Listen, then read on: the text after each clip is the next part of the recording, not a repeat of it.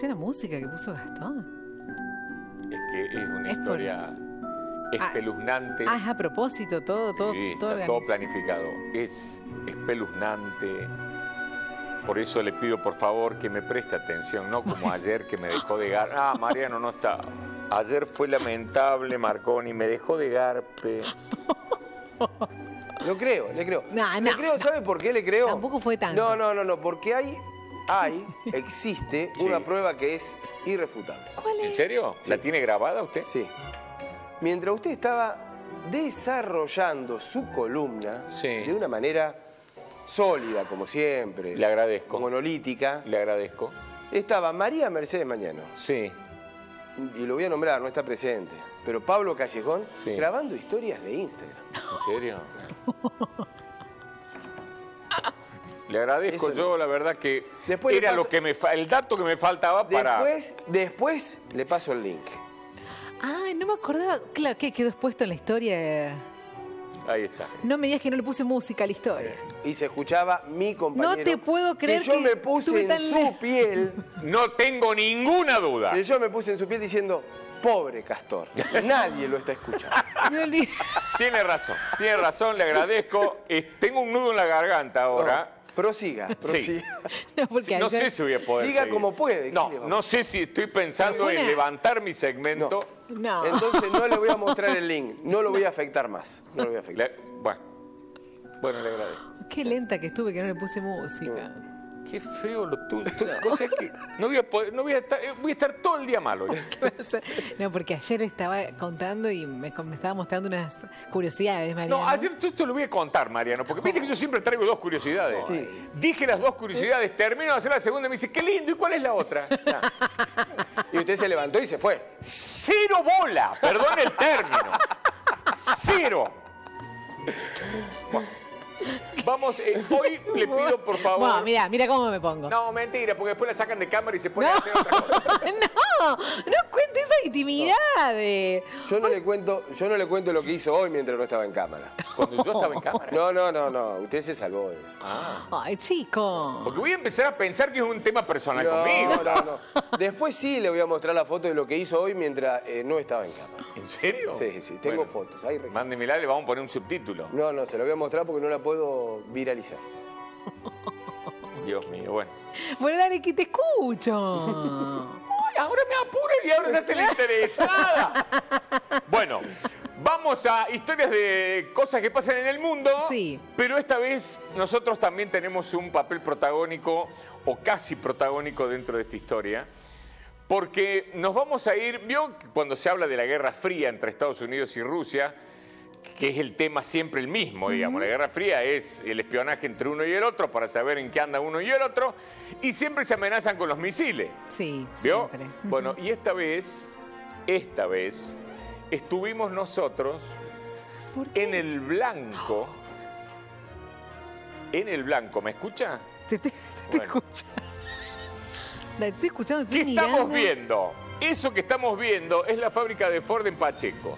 En General Pacheco, Ford hizo una inversión enorme, compró 111 hectáreas y pagó 70 millones de dólares por esas 11 hecta- eh, hectáreas. Estamos hablando del año 1962.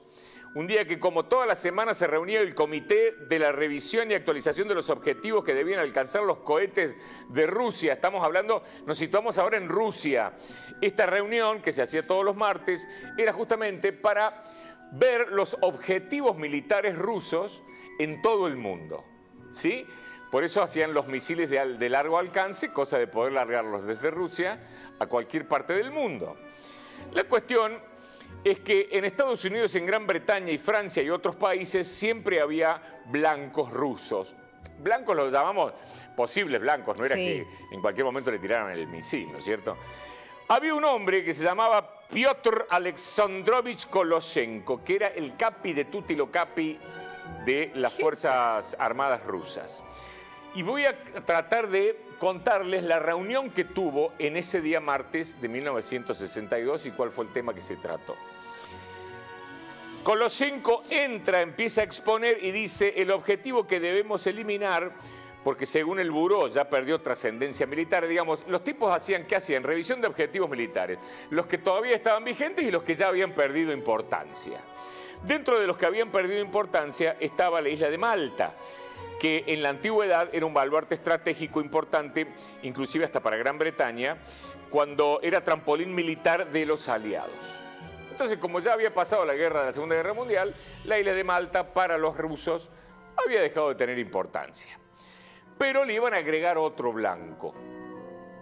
Y ese blanco que iban a agregar, según Koloshenko dice, la novedad que traigo es el destino que hasta ahora es el más lejano que vamos a incorporar. ¿Cuál es? Le preguntaron el resto de los militares que estaban en la reunión. Bueno, dice, es Argentina y Buenos Aires.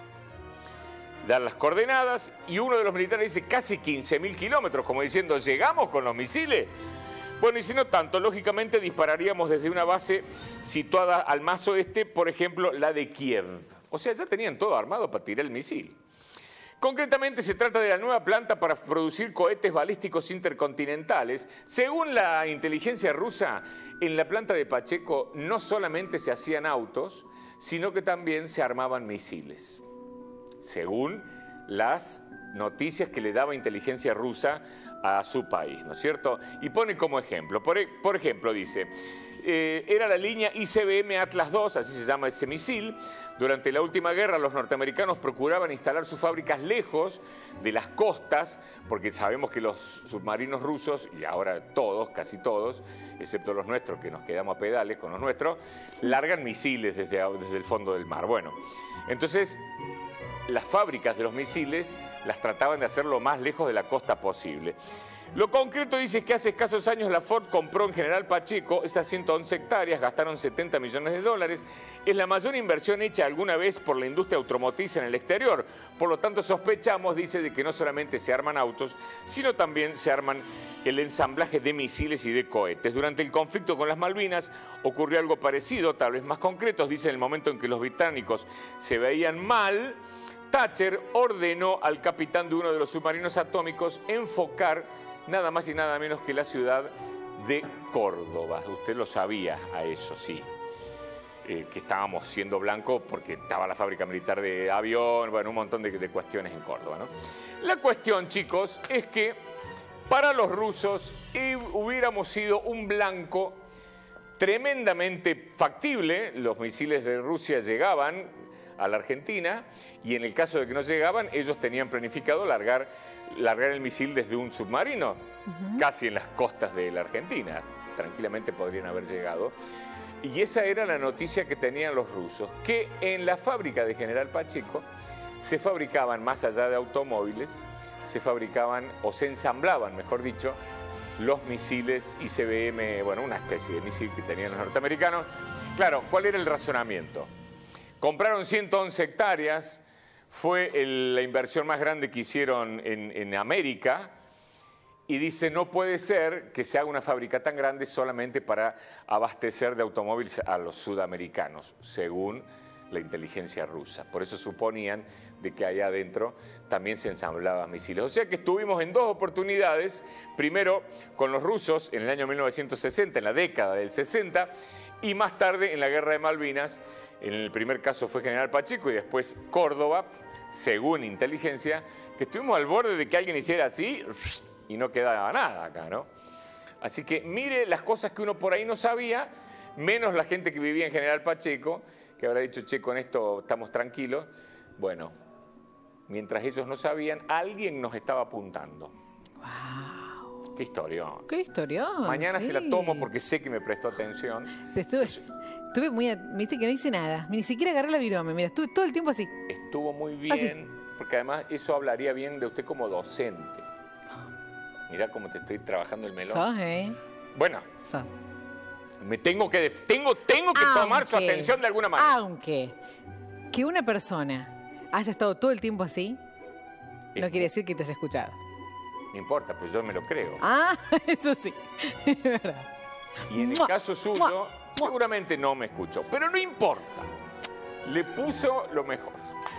Pórtese bien. Gracias.